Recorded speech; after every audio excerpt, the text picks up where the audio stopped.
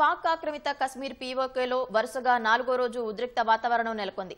ఎలాంటి పన్నులు లేకుండా విద్యుత్ సరఫరా చేయాలని గోధుమ పిండిని రాయితీ ధరకు అందించాలని joint Awami action committee JAAC చేపట్టిన ఆందోళనలు అంతకంతకు ఉధృతమవుతున్నాయి.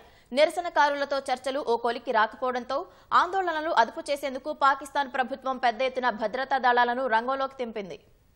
ఆక్రమిత కశ్మీర్ పీఓకే హింసతో దద్దరెళ్ళిపోతోంది ఎలాంటి పన్నులు లేకుండా విద్యుత్ సరఫరా చేయాలని గోధుమ పిండిని రాయితీ ధరకు అందించాలని స్థానిక joint Awami action committee JAAC చేపట్టిన ఆందోళనలు నాలుగో రోజుకు చేరుకున్నాయి. నిరసనకారులు పీఓకే ప్రభుత్వం మధ్య చర్చలు అసంపూర్తిగా ముగియడంతో పాకిస్తాన్ ప్రధాని ఉన్నత స్థాయి సమావేశాన్ని ఏర్పాటు చేయనున్నట్టు తెలుస్తోంది. శనివారం నాటి హింసాత్మక ఘటనపై అంతకుముందు స్పందించిన షెహబాజ్ షరీఫ్ చట్టాన్ని ఎవరూ చేతిలోకి తీసుకోకూడదని నిరసనకారులను కోరారు.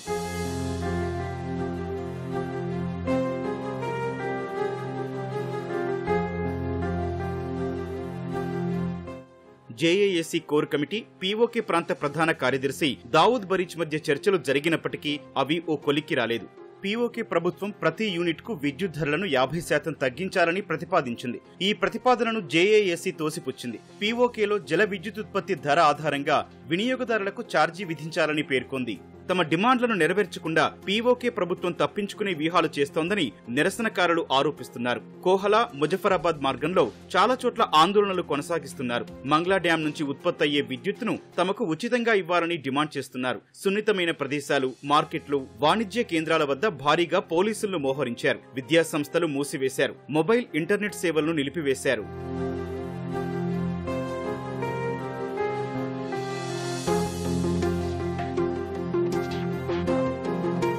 Joint Awami action committee JASC ఆందోళనకారుల చేతిలో శనివారం పోలీసు అధికారి ప్రాణాలు కోల్పోయారు. ఘర్షణలో దాదాపు వందకు పైగా ఆందోళనకారులు పోలీసులు గాయపడ్డారు. జేఏఏసీకి చెందిన డజన్ల కొద్ది నాయకులు అరెస్ట్ అయ్యారు. నిరాయుధులైన ప్రజలపై బలగాలు కాల్పులు జరుపుతున్నాయని ఉద్యమకారుడు అంజాద్ అయూబ్ మిర్జా ఆరోపించారు. కాల్పుల్లో ఇద్దరు ప్రాణాలు కోల్పోయారన్నారు. పీఓకేలో పరిస్థితి చేజారిపోయిందని పొరుగుదేశమైన భారత్ దీనిలో జోక్యం చేసుకోవాలని పేర్కొన్నారు. పీఓకేకు స్వాతంత్ర్యం కల్పించాలని డిమాండ్ చేశారు.